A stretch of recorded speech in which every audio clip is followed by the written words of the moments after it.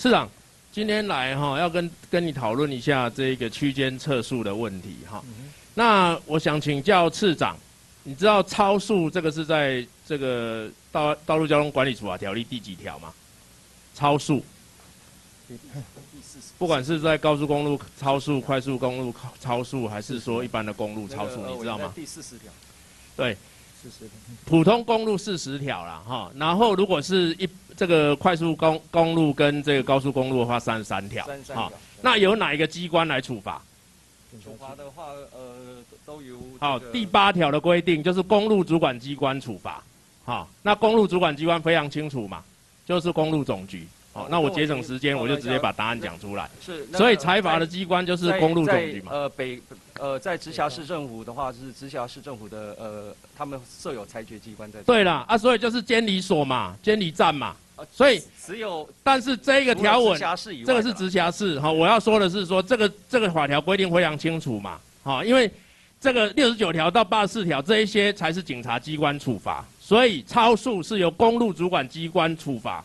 然后就是公路总局嘛，好，呃呃呃，我们是是是呃，应该是公路主管机关呐，是啊，直辖市以外的，因为公路主管机关在这个里头，呃，有所谓直辖市跟不是直辖市。那你看一下哈，今天刚刚局长就是讲说，这个区间测速都不干交通部的事啦，哈，那都是这个所谓的这个警察去警察地区警察设置的哈，然后补我四月二十八号我又问说。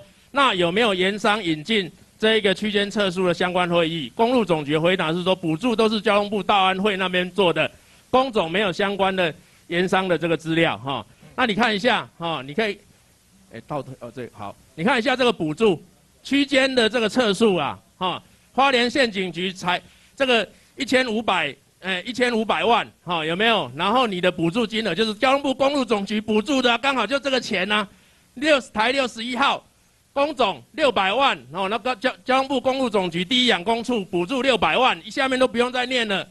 所以弄他多后，区间测速明明都是你拨走的，啊，你今麦个杀哦，这个地方的警察局，然后你都没有责任，哦，那我想要请教次长，到底现在区间测速的问题嘛？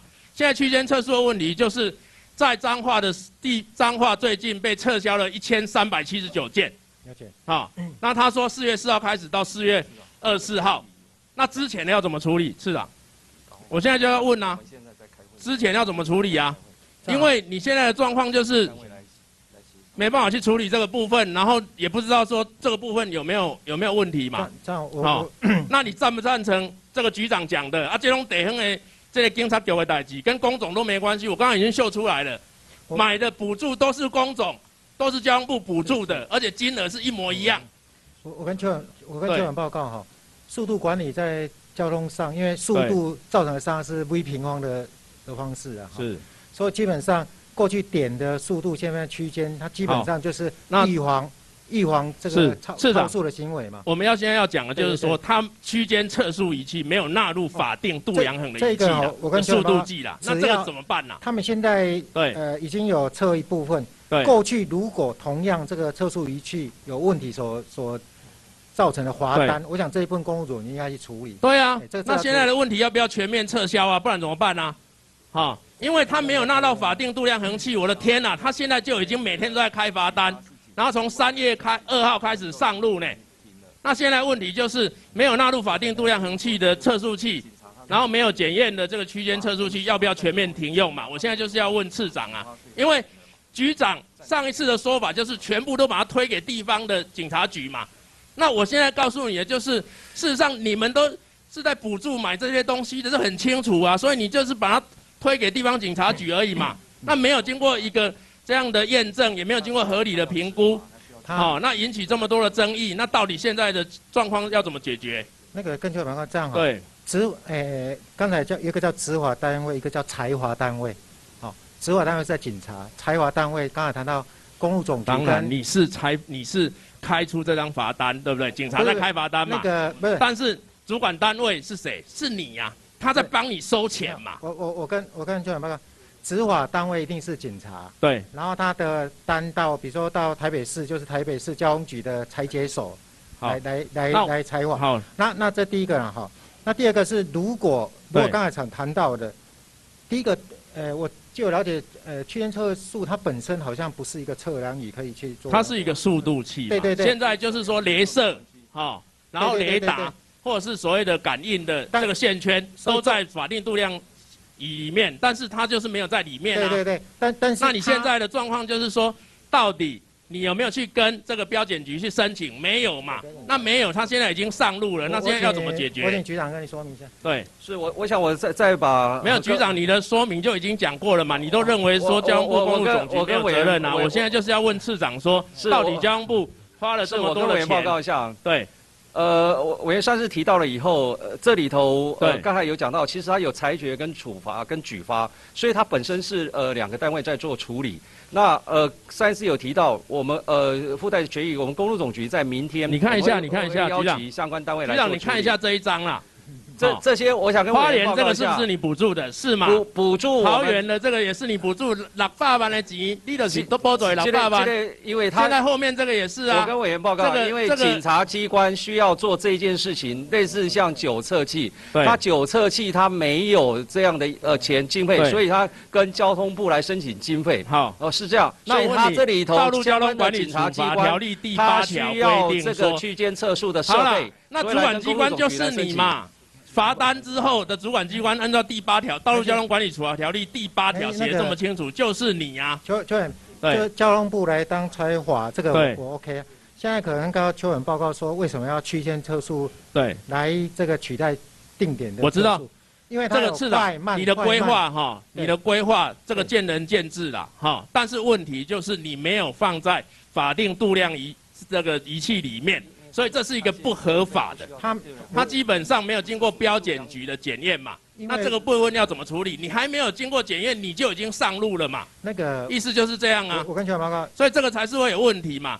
那当这个事情发生的时候，次长现在的状况就是说，当这个事情发生的时候，哈，你要如何去告诉人民说你的仪器是对的？没有办法，为什么？因为他们没有办法去做检验。当你去说人家的行车记录器没有办法检验的时候，现在反过来，国家机关去采法的时候，你没有办法去告诉人家说你有被检验嘛？你完全不需要检验呢。问题在这里呢。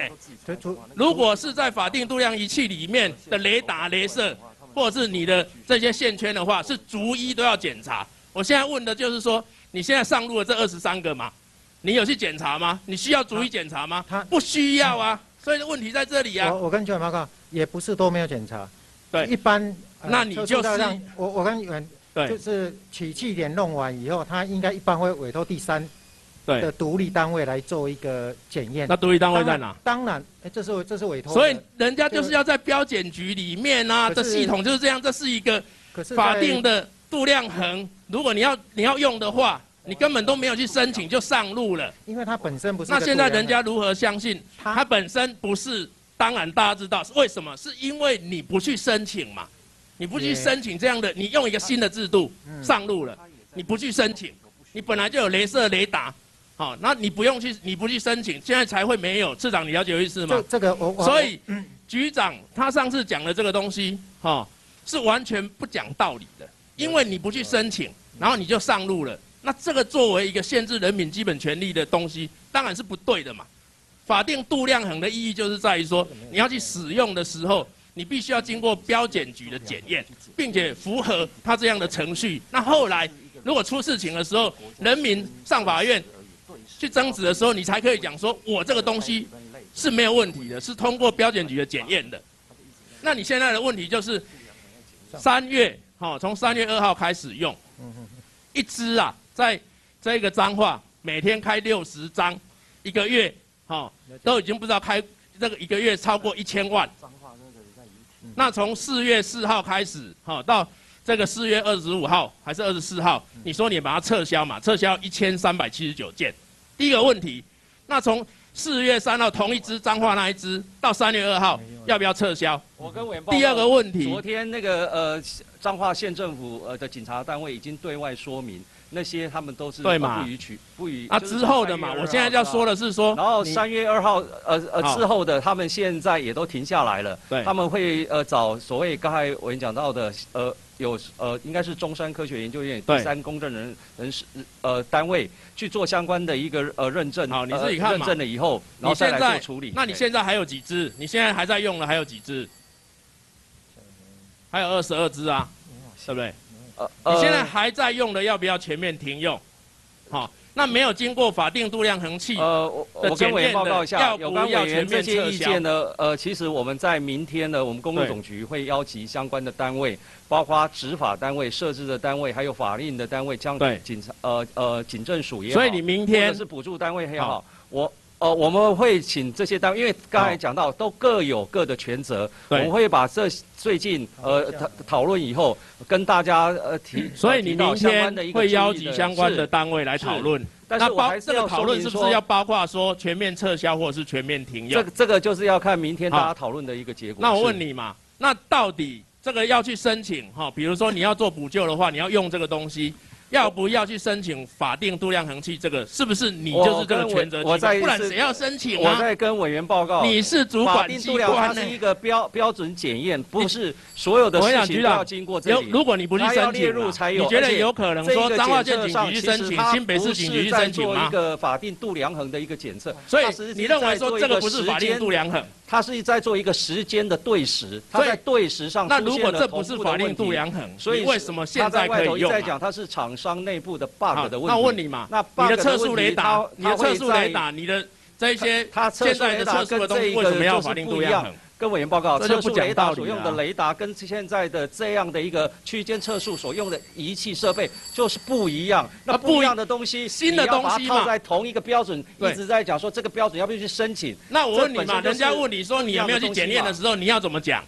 因为你根本就没有通过标检局的检验嘛，所以人家就问说，为什么三月二号开始哈，其他的这些没有跟四月三号到二十四号一起撤销的时候，你讲不出来啊？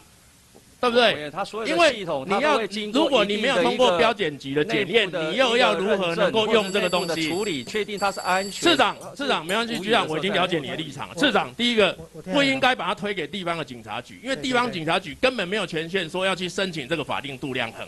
第二个，地方是在执行这个公路总局，哈，交给他的工作，你推给这个地方这个警局要做什么？然后你其实很清楚嘛。这些买的这些东西都是公路总局或者是交通部的补助去买的，啊，甚至说当初来做的时候，也是公路总局的段长出面讲说，他就是这个区间测速的推手嘛，所以现在在推这个责任，我觉得非常不够意思啦。好，我跟好让地方的警局被骂臭头，然后公路总局都不用负责任，这不是一个这个正确的做法，应该是要去妥善讨论。责任，我们明天主。在委员的这个要求下，我们主动召开会议来要求来。我现在这个请次长哈，真的要正视这个问题。那个要不要全面撤销？要不要全面停用？那个好，是是这样，就很。你没有经过一个合理的评估，没有经过验证，没有法定度量衡器，你说你就已经上路了，然后让这么多的这个人民哈，然后对这个警局去抱怨连连。